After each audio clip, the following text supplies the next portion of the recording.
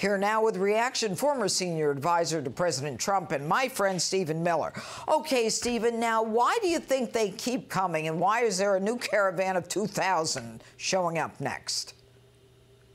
Well, it's quite simple. The Trump policy was deter, detain, deport.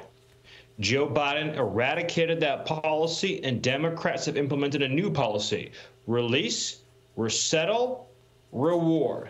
Reward with cash, reward with work permits, reward with free hotels, reward with free flights, free lawyers, free healthcare, free education, free everything, even prepaid debit cards. They aren't merely smuggling illegal aliens into this country, but Joe Biden and the Democrat Party are subsidizing illegal immigration with millions, indeed billions, of taxpayer dollars.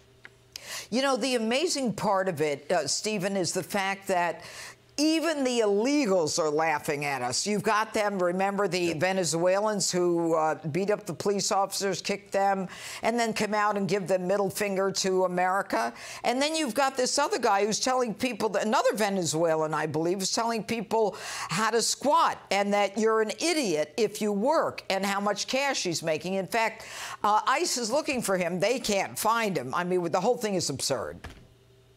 Well, this is the ultimate indignity.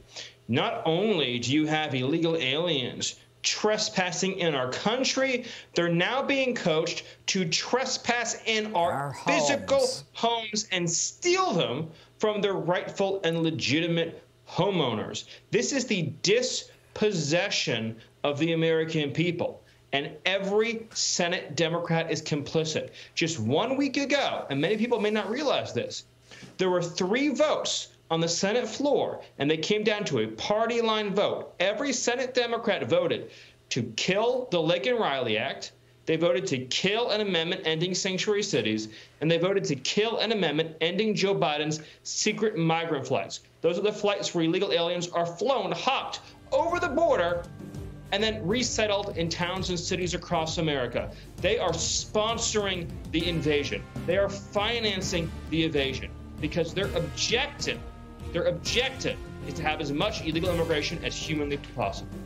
And we're paying for it. Stephen Miller, thanks so much for being with us.